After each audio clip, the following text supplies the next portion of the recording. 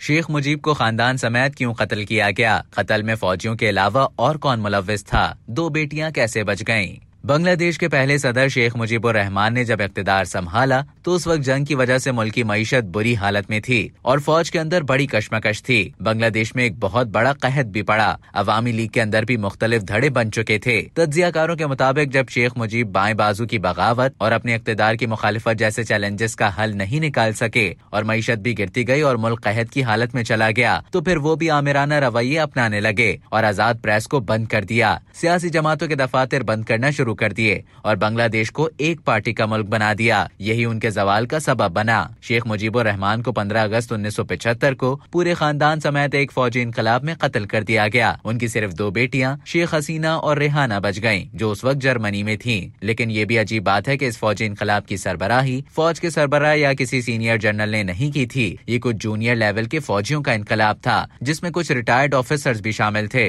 लेकिन बाज मुबसरीन के मुताबिक, इस फौजी इनकलाब को अवामी अवामी लीग के अंदर से हिमायत हासिल थी। शेख मुजीब के कत्ल के फ़ौरन बाद मुश्ताक अहमद सदर बन गए, जिन्होंने मुजीब के कातिलों को सराहा और उन्हें सूरज के बेटे भी कहा। इसके साथ ही उन्होंने के एम शफीउल्ला की जगह जनरल जियाउर रहमान को फौज का सरबरा मुकर किया और अवामी लीग के शेख मुजीब के हिमायती रहनुमाओं को गिरफ़्तार करवा कर जेल भेज दिया, जिनमें से चार बड़े रहनुमाओं को ढाका सेंट्रल जेल के अंदर ही कत्ल कर दिया गया। जब जूनियर फौजियों का सदारती महल पर कब्जा हुआ और वो सदर मुश्ताक अहमद को बताने लगे कि उन्हें क्या करना चाहिए चाहिए। तो फौज के सीनियर ऑफिसर्स को ये बहुत बुरा लगा। उनमें फौज के नायब सरबरा chief of general staff, major general Khalid Musharraf भी थे। उन्होंने फौज के सरबरा जनरल जयाउर रहमान से कहा कि इन ऑफिसर्स को सदारती महल से निकालना चाहिए और सजा देनी चाहिए, लेकिन वो ना माने। शेख मुजीब के कत्ल के तीन महीने बाद तीन नवंबर को एक और फौजी इनकलाब आया, जिसमें खालिद मुशर्रफ ने दूसरे फौजी ऑफिसर्स के साथ मिलकर आर्मी चीफ को गिरफ़्तार किया और सदर को कहा कि वो इकतदार छोड़ दे, लेकिन ये नए फौजी सरबरा कत्लो गारत नहीं चाहते थे।